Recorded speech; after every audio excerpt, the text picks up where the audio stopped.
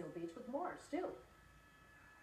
Well, we've been watching these high waves and just pummeling the pier out here in the Seal Beach area. We can see these waves right now. That seems to be a little bit of a lesser of a swell out here for sure. But a lot of white water out here. That means there's a lot of riptide going on as well. And as I pull out and pan down, you can see all that white water all down to the south, which is far down as Huntington Beach is in our camera right now.